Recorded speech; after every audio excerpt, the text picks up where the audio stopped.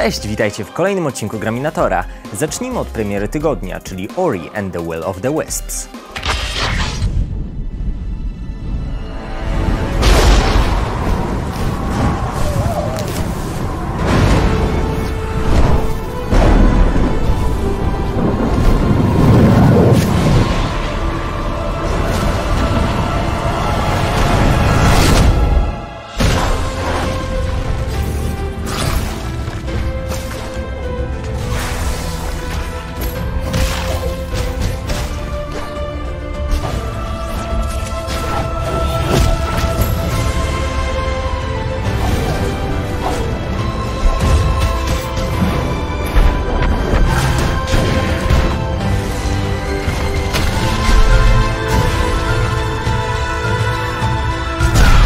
Ori and the Will of the Wisps to druga odsłona cyklu produkcji typu Metroidvania, nad którego rozwojem czuwa zespół Moon Studios. W grze po raz kolejny wcielamy się w tytułowego Oriego. Tym razem młody duch wybiera się poza teren lasu Nibel, by odkryć swoje prawdziwe przeznaczenie. Choć w egzotycznym świecie czyhają na niego liczne niebezpieczeństwa, są tam też sojusznicy, którzy chętnie wyciągną do niego pomocną dłoń. Rozgrywka opiera się na schemacie znanym z pierwszej części serii. W trakcie zabawy skaczemy po platformach oraz omijamy pułapki i przepaście. Bohater napotyka również na swojej drodze oponentów wraz z potężnymi bossami na czele. Eliminujemy ich korzystając z duchowych broni, zaklęć i zdolności bojowych. W miarę postępów Ori uczy się nowych ataków i czarów, a także nabywa kolejne umiejętności, dzięki czemu z czasem może stawiać czoła coraz większym wyzwaniom. Do gry wprowadzono również tak zwane duchowe odłamki, wpływające na bohatera w sposób aktywny lub pasywny, z tym, że możemy aktywować ich ograniczoną liczbę. Nic jednak nie stoi na przeszkodzie, by z czasem je ulepszać. Niezależnie od tego, gra cechuje się wysokim poziomem trudności. Dopełnieniem trybu fabularnego w produkcji są tak zwane Spirit Trials, czyli specjalne próby, w których musimy wykazać się zręcznością i refleksem, by uzyskać jak najlepszy czas. Swoim wynikiem można się pochwalić na internetowych rankingach. Warto wspomnieć, że tytuł zostanie wydany w ramach programu Xbox Play Anywhere, co oznacza, że kupując jego konsolową wersję, PC-tową otrzymujemy za darmo i vice versa. Dwuwymiarowa, ręcznie rysowana grafika gry Ori and the Will of the Wisps prezentuje się równie dobrze co sfera wizualna pierwszej odsłony cyklu. Zabawie ponownie towarzyszy klimatyczny soundtrack. Produkcja ukaże się 11 marca na komputerach osobistych i Xboxa One. Witajcie w strefie indie, gdzie co tydzień będziemy prezentować Wam po jednej produkcji niezależnej. Jeśli brakuje Wam gier w klimacie portala, Cube jest świetną alternatywą.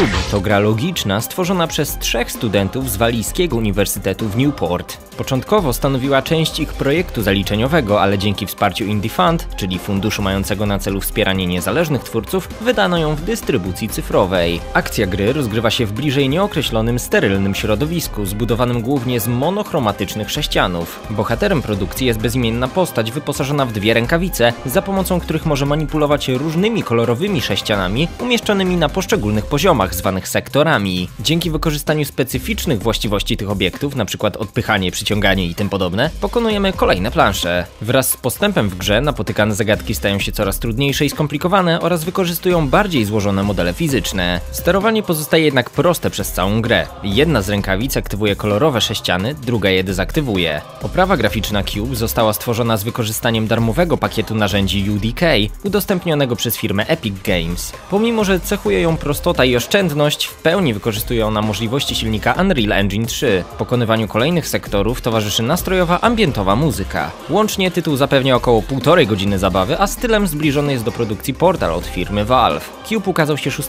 stycznia 2012 roku na komputerach osobistych. Przed nami sekcja Hidden Gem. Omówimy w niej gry mniej znane lub przyćmione sukcesem większych produkcji wydanych w tym samym czasie. Ekipa PopCap stworzyła prawdziwą ukrytą perełkę, a właściwie to klejnot.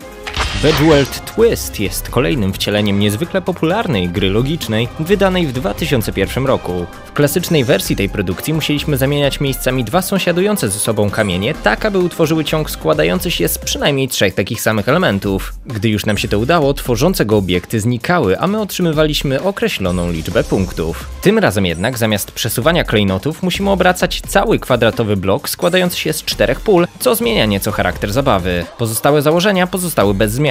Wciąż naszym zadaniem jest uzyskanie jak najlepszego wyniku poprzez układanie jak najdłuższych łańcuchów składających się z takich samych kamieni. Oczywiście, im więcej elementów uda nam się połączyć, tym więcej punktów zdobędziemy. Dodatkowo w uzyskaniu lepszego rezultatu pomóc może umiejętne wplecenie do swojego łańcucha specjalnych pól pozwalających na zniszczenie większej liczby obiektów jednocześnie. Do dyspozycji mamy cztery tryby rozgrywki: Classic oraz jego trzy wariacje: Challenge, Zen i Blitz. Podobnie jak w poprzednich edycjach, gra charakteryzuje się bardzo kolorową, ale i przejrzystą oprawą graficzną. W dodatku tym razem możemy zagrać w wyższej rozdzielczości. Twórcy poprawili również jakość efektów specjalnych. Bejeweled Twist ukazał się 18 listopada 2008 roku na komputerach osobistych, a 14 grudnia 2009 produkcja zawitała na Nintendo DS. Czas na retro, gdzie głównie przenosimy się do lat świetności DOSa, pierwszych Windowsów i starych konsol. Rzućmy okiem na ciekawe połączenie survival horroru z grą przygodową, czyli Fear Effect.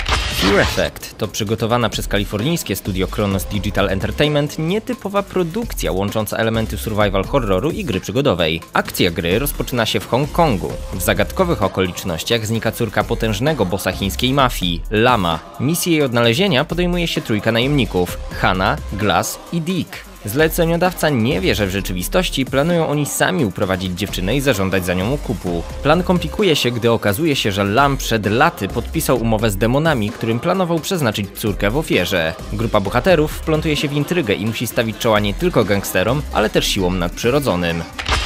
Jak pewnie zauważyliście, jednym z charakterystycznych elementów Fear Effect jest grafika. Producenci zdecydowali się na oryginalne połączenie renderowanego tła i modeli postaci przygotowanych w cel shadingu. Z tego też względu gra została wydana na aż czterech płytach CD. Tutaj macie pierwsze dwie, a jeśli przerzucicie na drugą stronę opakowania, macie kolejne dwie. Fear Effect na pierwszy rzut oka przypomina popularne survival horrory, takie jak Resident Evil czy Dino Crisis. Akcja prezentowana jest z umiejscowionych w konkretnych punktach kamer, a bohaterowie poruszają się według modelu Tank Controls. Mogą się oni jedynie przesuwać w przód i tył, a także obracać, by zmienić kierunek biegu. Co odróżnia historię trójki najemników od wspomnianych konkurentów, to możliwość jednoczesnego poruszania się i strzelania. Unikalnym elementem Fear Effect jest brak typowego paska zdrowia. O stanie fizycznym kierowanego Herosa mówi wykres EKG, symbolizujący poziom przerażenia. Każda nieudana akcja, jak na przykład przecięcie złego kabelka w trakcie rozbrajania bomby lub przyjęty cios, zwiększają strach postaci, co z czasem może doprowadzić do jej śmierci. By go zmniejszyć, konieczne jest wykonywanie ataków z zaskoczenia oraz rozwiązywanie zagadek. Fear Effect ukazał się 24 lutego 2000 roku na oryginalnym PlayStation. To wszystko w tym odcinku Graminatora. Przypominam, że możecie zaproponować jakąś grę do programu, wystarczy podać jej tytuł, a my zajmiemy się resztą. Zachęcam do wysyłania ich na adres e-mail widoczny na ekranie lub na nasz facebookowy profil. Zapraszam na kolejny odcinek za tydzień o tej samej porze. Do zobaczenia!